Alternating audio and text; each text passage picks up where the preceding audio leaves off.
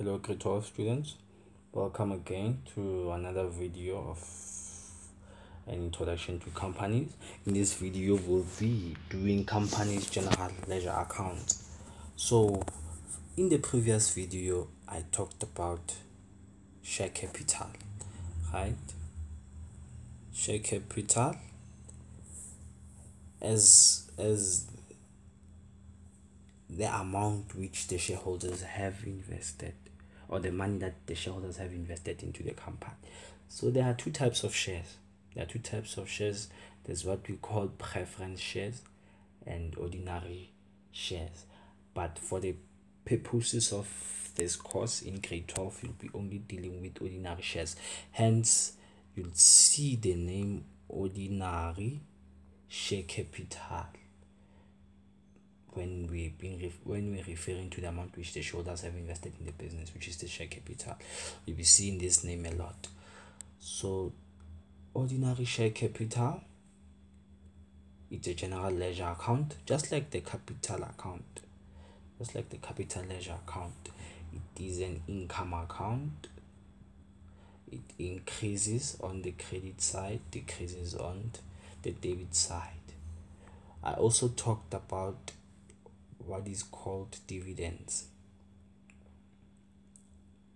Dividends is the share of the company's profits which is given to the shareholders. So it just makes sense because since profit is an income and then if there's something there's an amount that's taken from that profit it means the company is losing money right just like drawings.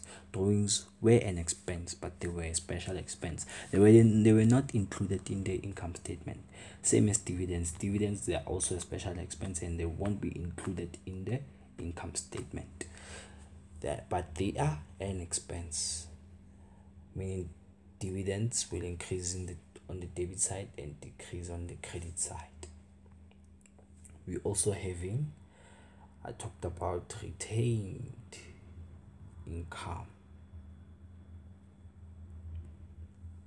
Retained income, I said, is it is what is retained from the profits of the company after dividends have been issued is the money that's left over which is just kept by the directors for future expansion of the business or to increase the cash flow of the business now it's it states itself retained income it's an income it increases on the credit side and decreases on the debit side. It's an income the business is not losing money it's actually gaining money. But remember it is this money is money that was supposed to go to shareholders but it was retained by the directors for future expansion. This tells us that if it happens that a shareholder decides to leave the company. When a shareholder leaves a company he or she will share will sell his shares to the company or can sell them to someone else. But if if he's if he or she sells them to someone else it's just obvious that it won't be a transaction that's taking place between the shareholder and the company. Therefore the company does not necessarily need to record anything. But if the shareholder sells sells her shares to the company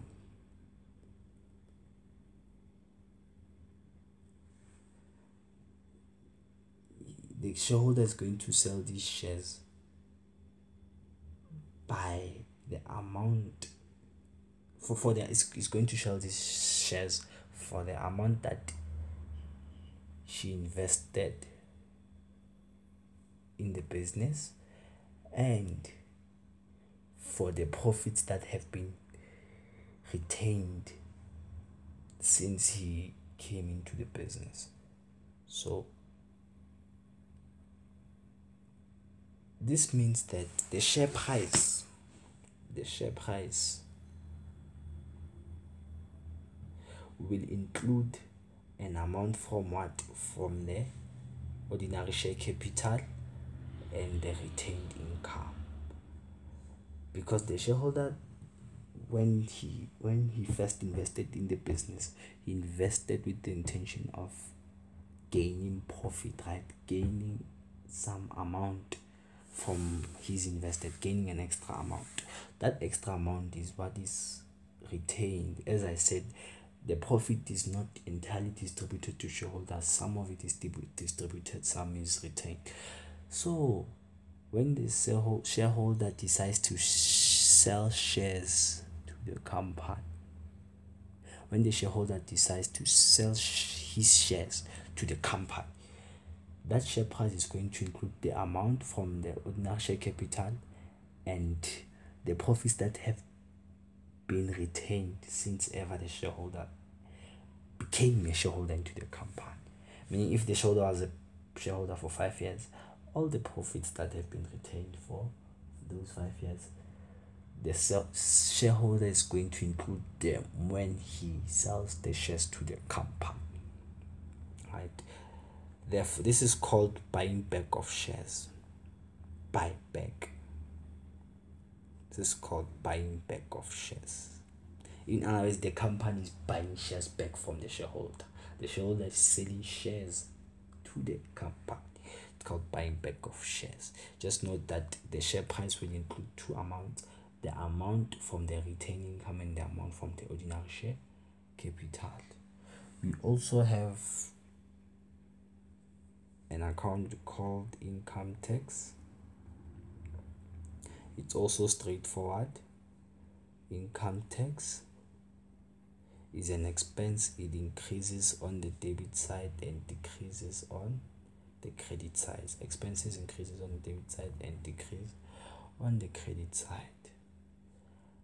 Now i said to you dividends are issued two times per year. They're issued during the year and the final dividend is issued is issued at, at financial year end. Final dividend is issued at financial year end. Sorry about that. So when a dividend is is issued the dividend is first declared and then paid. So this means that this final dividend and the interim dividend they are going to be declared. To declare the dividend is means you are sort of like admitting or accepting that yes, we are going to give you guys dividends, and then you're not paying the dividend yet. You are telling the shareholders that we're going to issue, give you guys dividends, and then you're going to pay after after some time that you're going to pay those dividends. So interim dividends are declared and paid because they're issued during the year. Final dividends are declared, but due to the fact that they are declared at the financial year end, due to the fact that they are declared at the end of the year, it means they are only going to be declared and then paid when? Next year. You're going to be paid next year they will be paid next year. They will paid next year. So because the because of the matching concept of accounting for market principles you know that income and expenses must be recorded in the year in which they occurred. So it simply means that we're going to debit dividends. For final dividends, this is for final dividends. Please note this is for final dividends. We'll be debiting dividends and crediting what? A liability. That liability is called shareholders. Shareholders for dividends. This is an expense, this is a liability. So we'll be debiting dividends and crediting shareholders for dividends as liability because this is the amount that we owe the shareholders and we will be paying it the following year. But for interim, it's simple. You just you are just debiting what? You are debiting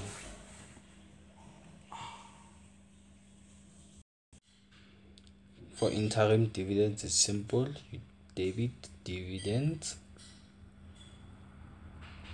and you credit bank because you would have paid the dividends here you owe the dividends. So shareholders for dividends is also an account we'll be dealing with.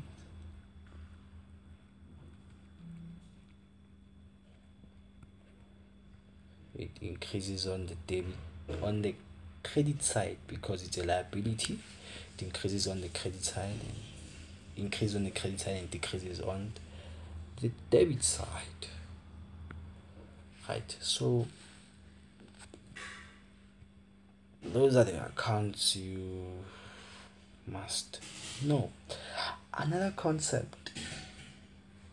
Tax. Tax is is is also treated is also paid in a special way. Like for income tax you know we, we only receive we only get to know how much we owe to SARS at the end of the financial year so due to the fact that we don't want to pay the tax at the end of the financial year because we're not sure that we might we, we will have money to pay that tax at the end of the financial year. Two payments, two interim payments are made during the year. Two interim payments are made during the year to pay tax. Two interim payments are made because we know that tax is paid to SARS, right? They are made to SARS. See, so by making these early payments you know that early payments are classified as what prepaid expenses and they are assets right? So by making these two payments we are creating an asset which is called SARS income tax. We are creating an asset. So by creating an asset that means for payment number one we will we will debit this account with amount X. For payment number two, we'll debit with this account. You know, obviously, don't mind this payment thing. The contra account here obviously is going to be because we'll have, we would have paid using our money. The contra account is going to be bank. Bank, right? So, bank will be credited SARS income tax is debited. So this is payment number one, payment number two. In other words, by looking at this situation, it means that SARS owes us money, right? Because we made prepaid prepayment. We it's a prepaid expense, it's an asset to us. And then when we receive, when we receive, when we receive, you know, the statement from SARS telling us that we owe such and such amount that amount that we owe SARS, the actual amount, will be credited. Will be credited in this side. Will be credited in this side, and that amount is the actual income tax, right? It's what we owe SARS. And remember, income tax is debited. That amount is what we actually do, what, what we actually owe SARS. So this means these amounts can differ. These amounts, this amount and the total of these two amounts can differ. So for example, let's say the total here amounted to 50,000 and here what we actually owed SARS is 40,000. Do you understand that we paid more than we were owing? So it means SARS is going to owe us how much? 10,000 right? So this account will have a balance carried down on the credit side of 10,000 right?